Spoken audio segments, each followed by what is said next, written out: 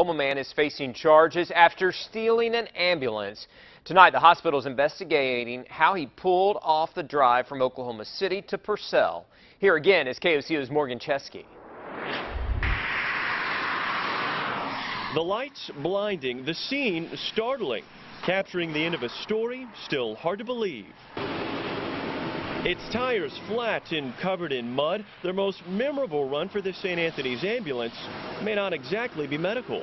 Well, we were uh, contacted by the hospital saying that one of their ambulance uh, ambulances got uh, stolen. The life-saving vehicle stolen late Saturday when a man authorities describe as a mental patient showed up at a hospital with plans of his own.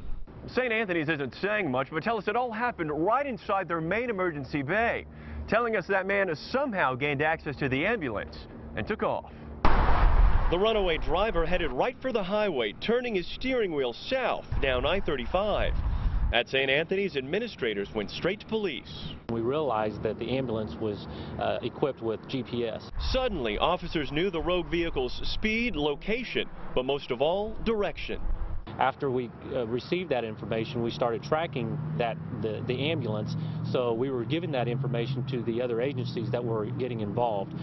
Moore, Norman, and Purcell police joined in the chase, but it was OHP who brought its more than 30-mile joyride to an end, laying down the spike strip, taking out the tires, and stopping the driver, who was soon wearing handcuffs. Morgan Chesky, KOCO 5 News.